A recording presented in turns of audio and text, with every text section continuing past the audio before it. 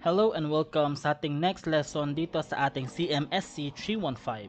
Ngayon pag-uusapan natin ang Republic Act 9775, the Anti-Child Pornography Act of 2009. Napakahalaga nito class because napakadaming tao nag exploit sa ating mga kabataan. No, so uh, first I'd like to give credit kay Police Superintendent Kirby John Brion, kay Raf Pese.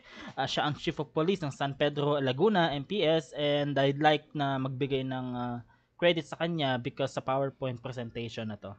Next. Kapag sinabi nating child class sa ating batas, ito yung mga tao na below 18 years old. No? Or sabihin natin na hindi nila kayang uh, tawag dito, alagaan ang kanilang sarili to the extent na maprotektahan. So for example, hindi nila kayang pigilan ng some sort of abuse, neglect, cruelty, exploitation, or discrimination dahil sa kanilang physical or mental disability condition. No, so lahat dyan yan papasok. But in the event when we say child, talagang generally below 18 years old. So that's why kapag talaga mga ganyan, medyo iiwas talaga kayo kasi anything na mapicturean ka, ma-videohan ka, eh, posibleng ibang interpretasyon ng makakakita. No? Right, so next. So, kapag sinabi nating uh, child right here, ay sila yung mga nakarefer sa mga isang tao na regardless of age who is presented, depicted, or portrayed as a child. Generally, kaya na naman natin tong ipaliwanag, no?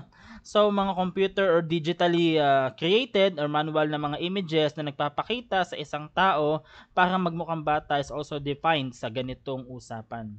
Uh, I mean, ibig ko sabihin dito is nire-represent yung mga ganyang pagkakataon para halimbawa magkaroon ng mga kalab uh, tawag dito paglabag sa batas na maaaring hindi mo din nare-realize.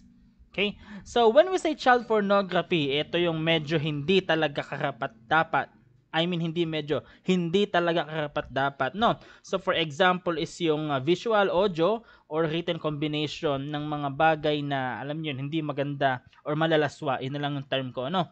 So electronic mechanical digital optic, optical magnetic at anumang uri ng mga ganitong uh, platforms na kung saan merong isang bata or less than 17 years old na magkakaroon ng isang sexual activities So, hindi yan ayos. So, for example, medyo may ka-text ka, tapos usong-uso dati yung uh, sex on text or sex on phone.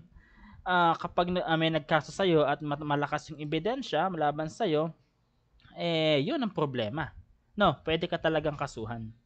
So, uh, napakadami nito na pwedeng maging uh, karampatang parusa sa iyo. No, hindi natin to isa-isahin. But in the event na ikaw ay makot on the act or mapatunayan na nagkaroon ka ng ganitong activities, lalong-lalo na sa mga less than 17 years old, less than or equal 17 years old, eh may, magkakaroon ka talaga ng karampatang parusa, perhaps multa at pagkakakulong. No, yung iba, usong-uso dyan yung mga term na nananakot. 'di ba? Uh, ang tawag ay sextortion. Kapag hindi mo ginawa to, ikakalat ko yung picture or video mo or something like that. Lalong-lalo na kung may bala ka na i-advertise ito at yung mga nabanggit na transfer, sorry, transmit, sell, distribute, broadcast, advertise, promote, export, or any import of any form of child pornography. Even ang, uh, halimbawa, mayroon kayong mga video, okay, educational purposes. If nanonood kayo ng porn, okay, at meron kang mga video ng mga bata. Less than 70 less than or equal 17 years of age sa yung phone.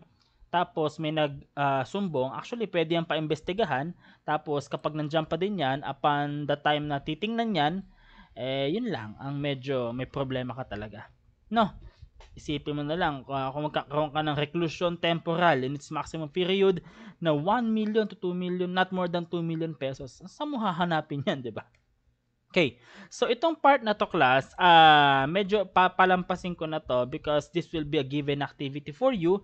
Each of this mula A, B, C, D, E, F hanggang uh, sa mga susunod na to, okay? I'd like you to give at least a one one sentence na paliwanag on how are you going to explain this.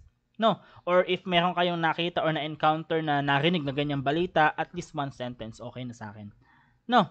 Uh, bawal din ang pagkakaroon ng kahit anong uh, child pornography things, even it's a video or lalong-lalo na magko-commit yaring-yari ka talaga diyan. No.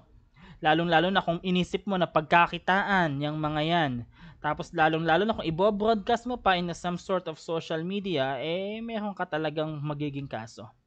No?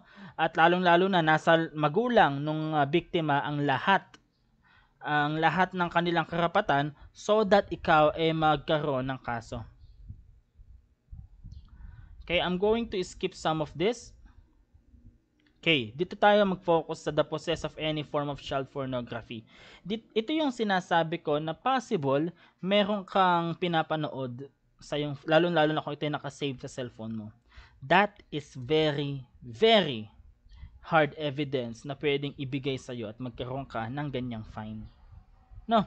So, ang purpose ng internet internet service provider as much as possible class, napapansin nyo, may mga ISP na binablock na ang mga porn sites. However, uh, ang dami pa ding paraan like VPN or some sort of tunneling device na makakalusot ka sa security ng ISP for you to watch.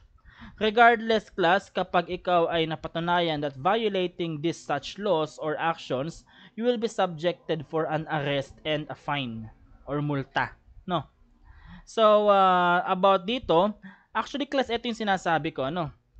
lahat ng activity nyo, kaya nga sinasabi ko sa inyo na huwag kayong maglagay ng password or mag-save ng password sa mga browser nyo kasi the ISP or sino mang merong advanced knowledge sa paghahanap ng mga yan, eh pwede ka talagang magkaroon ng uh, problema. Ibig kong sabihin, anong problema? Pwede kang magbayad ng malaking halaga. No? So, itong mga to class, uh, i-skip ko na because gagawan ko siya ng panibagong video. So I'll see you sa ating next video.